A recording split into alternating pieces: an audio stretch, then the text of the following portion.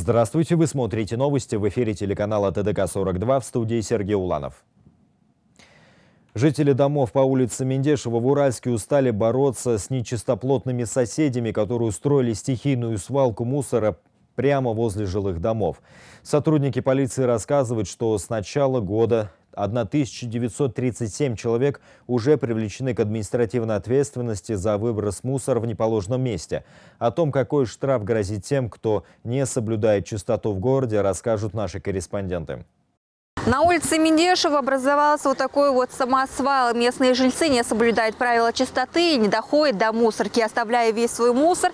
И именно здесь, в свою очередь, сотрудники полиции предупреждают, что за незаконный выброс мусора в неположенном месте прилагается штраф в размере 30 МРП. Некоторые жильцы ленятся идти до мусорки, которая находится буквально за углом. Думаю, что здесь лучше поставить камеры. Так ведь не может дальше продолжаться. Собаки разносят этот мусор по всей улице, а наши дети здесь играют. У меня образовалась свалка буквально под окном. Сотрудниками полиции с начала года проведен ряд мероприятий. В результате 1937 человек привлечены к административной ответственности. При этом сотрудники полиции отмечают, если человек попался на выбросе мусора в неположенном месте в первый раз, он обходится лишь предупреждением. Во второй раз правонарушителю грозит штраф в размере 103 500 тенге. На ежедневной основе участковыми инспекторами полиции и сотрудниками батальона патрульной полиции проводятся рейды совместно с местными исполнительными органами и другими заинтересованными государственными органами по э, благоустройству города Уральска. Также э, в случае обнаружения таких э, правонарушений привлекается к административной ответственности. В свою очередь сотрудники ЖКХ создали мониторинговую группу, которая следит за нарушениями правил благоустройства, которая начала свою работу в 2019 году. В настоящее время отрабатывается совместно с местной полицейской службой. Согласно по 505 статье было отработано 729 нарушений. Это нарушение правил благоустройства. По статье 434-2 было отработано около 500 э, заявлений. Э, соответственно, составлены э, протоколы в виде предупреждения. В настоящее время работа продолжается. Напомним, что с 25 марта по 29 апреля проводится общегородской субботник. По итогам двухнедельной уборки с территории города было вывезено около 1400 кубов крупногабаритных отходов. Дана Керимбаева, Айбула Жигапар, Александр Карабарев, телеканал ТДК-42. Заместителю Акима Актобе Жангельде Аубакирову государство заплатит 12 миллионов тенге. Это последствия незаконного привлечения чиновника к уголовной ответственности. Еще в январе он взыскал 5 миллионов тенге за моральный ущерб. Свои доводы Аубакиров обосновал тем, что был задержан и осужден на 7 лет, затем оправдан. За ним было признано право на реабилитацию и возмещение вреда. Подробности нашумевшего дела в материале Лейла Уесовой. На основании решения суда Жангильда Убакирова сняли все обвинения, после чего оправданного чиновника восстановили в должности заместителя Акима Актубе. Он вернулся на свое рабочее место в городской Акимат, а также попросил суд возместить ему утраченную заработную плату за период вынужденного прогула. С учетом инфляции сумма составила почти 23 миллиона тенге. Однако его требования суд не удовлетворил. Гражданское дело к Минфину рассмотрели в апелляционной инстанции. В итоге судьи коллегии посчитали, что справедливым будет удовлетворить требования частично. В пользу гражданина Убакирова взыскан имущественный вред, нанесенный привлечением его к уголовной ответственности и незаконным осуждением в сумме 12 миллионов 404 тысячи 702 тенге. Судебный акт вступил в законную силу. Напомним, в 2020 году на Жангильда Убакирова завели уголовное дело за превышение должностных полномочий. По версии следствия, подозреваемый был причастен к хищениям и растрате бюджетных средств, выделенных на новогоднее оформление города. В июне 2021 года Убакирова приговорили к семи годам лишения свободы и пожизненно лишили права занимать должности на госслужбе. Но уже в августе срок в колонии ему заменили на 4 года ограничения свободы. В мае 2022 года громкое дело отправили на новое рассмотрение рассмотрения, и к концу лета его полностью оправдали. В январе 2023 года Аубакиров отсудил у государства 5 миллионов тенге в качестве компенсации морального вреда за незаконное уголовное преследование. Теперь государство ему заплатит еще 12 миллионов. Лейла Осева, Жумарт Кудайбергенов, телеканал ТДК-42, Актобе. В Уральске двое мужчин пытались отобрать сотовый телефон у 14-летней девочки. Инцидент произошел в поселке Диркул. Момент попытки грабежа был зафиксирован камерами наружного видеонаблюдения. На место незамедлительно отправился наряд полиции. Подъехавшие сотрудники предотвратили грабеж и задержали нападавших. В пресс-службе департамента полиции сообщили, что грабят не только взрослые. Стражи порядка раскрыли по горячим следам еще один факт грабежа. 16-летний подросток, угрожая применением насилия, отобрал сотовый телефон у несовершеннолетнего 2008 года рождения. Полицейские юного грабителя задержали. По подозрению в совершении данного преступления задержаны двое граждан, оба 1983 года рождения. Мотивы столь странного поступка выясняет следствие. По второму факту подозреваемый задержан по горячим следам. Меры пресечения избрана подписка о невыезде. Досудебное расследование начато по статье 191 Уголовного кодекса Республики Казахстан «Грабеж». В Уральске полицейский автомобиль марки УАЗ столкнулся с автомобилем такси. Авария произошла 6 апреля примерно в 20 часов на улице Курмангазе. В пресс-службе департамента полиции сообщили, что сотрудник полиции за рулем служебного автомобиля при повороте не уступил дорогу встречной машине и совершил столкновение. В результате ДТП владельцам транспортных средств нанесен материальный ущерб, пострадавших нет. Полицейский водитель, согласно заключению медицинского свидетельствования, был трезв. Данный факт зарегистрирован в КУИ Управления полиции города Уральска. В отношении полицейского водителя составлен административный протокол по статье 610 части 1 Кодекса об административных правонарушениях. В Западно-Казахстанской области проводится оперативно-профилактическое мероприятие «Бекаре-2023», направленное на предупреждение браконьерства и незаконного оборота рыбы и ее продукции. В ходе проведения ОПМ за один день было задержано четверо граждан, перевозивших рыбу без соответствующих документов. Общий вес изъятого составил около 200 килограммов. Один из них, 29-летний мужчина, был задержан на автодороге Уральск-Атрау, который вез в машине Toyota Alphard 25 мешков сазана, судака, карася без соответствующих документов. Нарушителям закона грозит тюремный срок до 4 лет.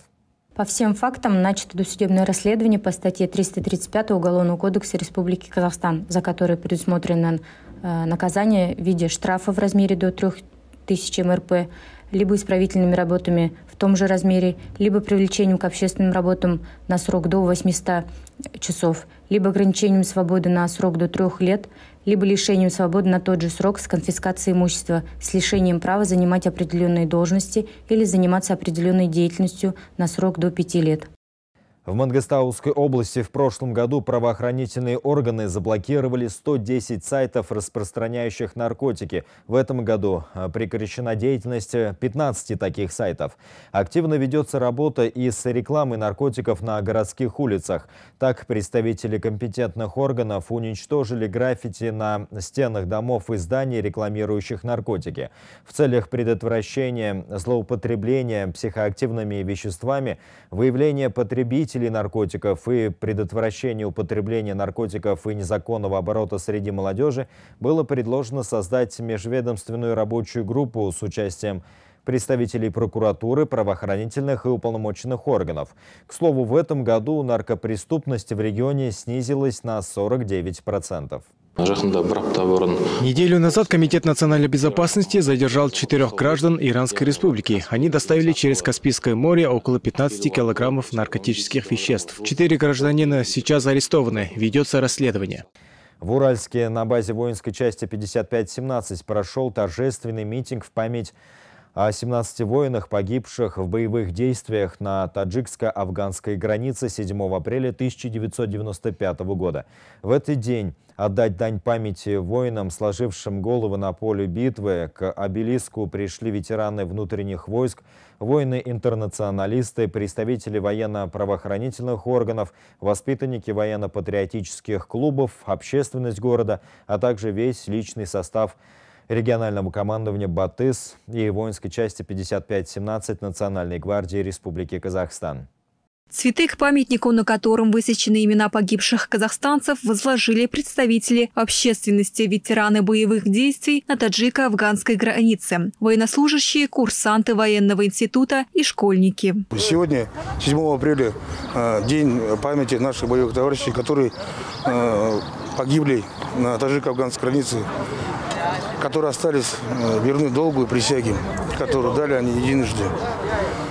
Также сегодня наши ветераны вспоминают Радика Калмулдиева, уроженца Чигировского района, единственного погибшего нашего э, Ощерепшихара, где погибли 17 воинов. Среди тех, кто самоотверженно противостоял террору, был казахстанский миротворец Раджан Батырханов. В ожесточенном бою 19-летний парень вышел на передний план, нанес первый удар по террористам и спас жизнь всей роте. Отвагу бойца сегодня вспоминают его сослуживцы.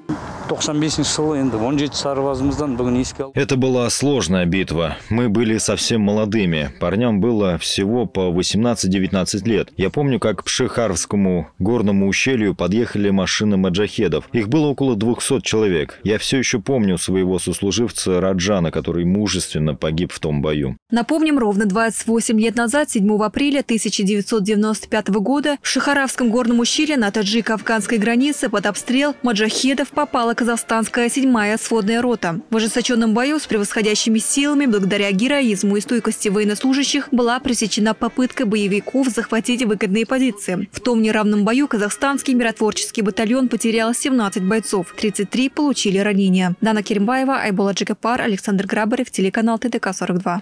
В Уральске почтили память ветерана органов прокуратуры Утигена Сеитова. 6 апреля текущего года исполнилось 100 лет со дня его рождения. По этому случаю в прокуратуре города состоялось мероприятие. Сеитов Утиген Сеитович являлся участником Великой Отечественной войны, политическим и государственным деятелем, государственным советником юстиции первой степени. Утиген Сеитов родился в Актюбинской области, был трижды ранен на полях сражения Великой Отечественной Отечественной войны. Работал в органах прокуратуры разных областей Казахстана, имеет звание «Заслуженный юрист Казахской ССР», почетный работник органов прокуратуры. В ходе мероприятия действующие сотрудники прокуратуры ознакомились с биографией ветерана. Сегодняшняя встреча меня, можно сказать, вдохновила на развитие, на э, несение вклада во благо нашего государства, во благо нашего народа. Все, что услышано, меня, меня действительно это вдохновило, это очень огромный вклад для меня а, в том плане, как, как для развития как сотрудника, в то же время для а, роста моего профессионализма. Наиб имам областной центральной мечети Уральска рассказал о том, кто освобождается от обязательства соблюдать пост. Это люди, не исповедующие ислам, путешественники, находящиеся в дороге более суток, а также те, кто страдает серьезными заболеваниями. Священный месяц Рамазан в текущем году начался 23 марта и продлится до 21 апреля. В это время верующие воздерживаются от приема воды и пищи от рассвета до заката солнца. Вообще-то пост э, полезен для здоровья людей. Освобождается от поста дети, умалишенные, потом э, путешественник, потом э, не мусульманин. Они освобождаются от поста. А остальные мусульмане пост обязаны держать. Меморандум о сотрудничестве подписан между областным департаментом юстиции, Палатой частных судебных исполнителей и средствами массовой информации. Процедура подписания меморандума состоялась в Департаменте юстиции. Основная цель документа – обеспечение взаимной поддержки и активного участия в деятельности судебных исполнителей, освещение деятельности Департамента юстиции. А, Западно-Казахстанской области и средствами массовой информации области заключен меморандум для обеспечения взаимной поддержки и активного участия в продвижении и популяризации а, деятельности судебных исполнителей, а также использования на основе партнерства имеющихся у сторон информационных, правовых и иных организационных ресурсов а, при создании совместных мероприятий. В одной из школ Актау скоро откроют классы, где одним из языков общения будет французский. Для этого в школьную программу ввели факультатив, который посещает около 60 учеников. Учениками занимаются специалисты, прошедшие стажировку во Франции. Процесс обучения оценили представители посольства Франции в Казахстане. Сейчас дети постигают французский язык. Это помогает детям говорить на свободную тему по-французски. После пополнения словарного запаса дети начнут параллельно изучать математику, физику, химию, биологию на французском языке. Айзия и Гульсия Нуртазины внимательны к знаниям ученики. Близнецы изучают французский язык уже больше полугода. Мы с Нузей хотим поступить во, э, во Францию, в Париж, э, на стоматологом. Мы хотим стать стоматологом и там жить в Париже. Два учителя школы и лицея прошли 10-дневную стажировку в городе Виши, Франция, в прошлом году. Их специально пригласил коллектив университета Клермон-Ферран. Ахтауские учителя ознакомились с программой преподавания математики и французского языка, получили опыт. По словам представителя посольства Франции в Казахстане, это пилотный проект. На основе двустороннего сотрудничества он пока реализуется в Астане и Алматы. Теперь к этому списку добавился город Актау. Очень активно работала и уже начинал э, открывать специальный класс, где преподается математика на французский язык. Значит, это касается детей, которые уже чуть-чуть знают французский язык и которые хотят одновременно и улучшить уровень французских знаний французский язык, но и одновременно готовиться эм, математика на французский язык, чтобы потом они могли э, поступать в, во Францию, самые престижные наши э, вузы. Важной частью мероприятия стало свободное общение детей с иностранным дипломатом. Подрастающее поколение интересовалось учебной программой за рубежом, меню и даже футбольными командами европейских стран. Представитель посольства был впечатлен тем, что вопросы учащиеся задавали на французском языке. Айдана Каримова, Мухагали Нурдаулетов, Аслабек Абикенов, телеканал ТДК-42, Ахтау.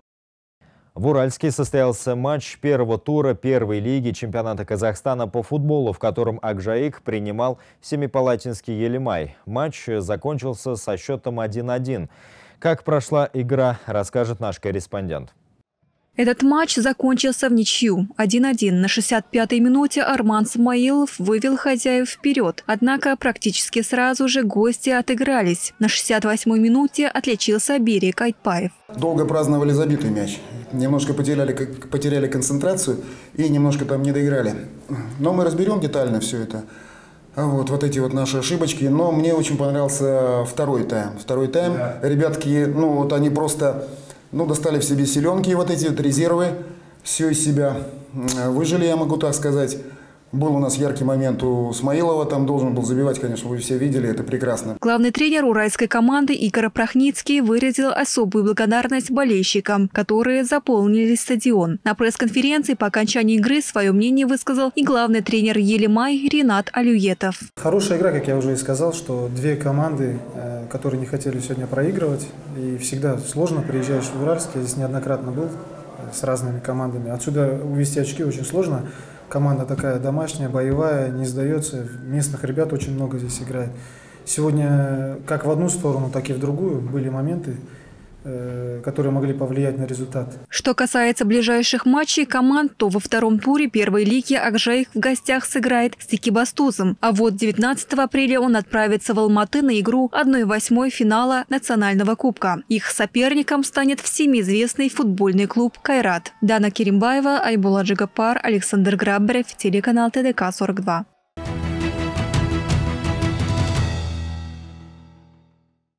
Желаете приобрести качественную электронику и бытовую технику по выгодным условиям? Тогда вам стоит посетить магазин «Мечта». В «Мечте» представлен широкий ассортимент товара от мобильных телефонов и аксессуаров к ним до телевизоров и холодильников. До 10 апреля включительно в магазине действует кэшбэк до 30%, то есть до 30% от суммы покупки вам вернут обратно.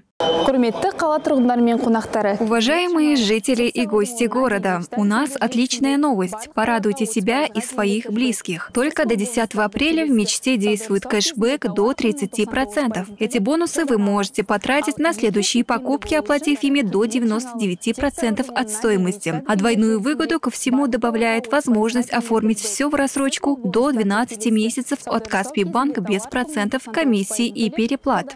Спешите за выгодными покупками. Магазин электроники и бытовой техники «Мечта» ждет вас по адресу город Уральск, улица Курмагаза, 69, в районе Центрального рынка, улица Сармадатова, 10, дробь 1, а также в городе Аксай, микрорайон 5А, дом 6А. Это были все новости к этому часу. Обзор главных событий за уходящую неделю смотрите в воскресенье в программе «Итоги недели» вместе с Гульнарой Умаровой. Еще больше полезной и интересной информации вы сможете найти на наших страницах в социальных сетях и на сайте tdk42.kz. Спасибо за внимание и до встречи в следующих выпусках новостей. Одежда ведущим предоставлена магазином «Купер». Бутики мужской одежды «Купер» расположены в торгово-развлекательном комплексе «Сити-центр» на третьем этаже и в торгово-развлекательном центре «Азия Молл» на первом этаже.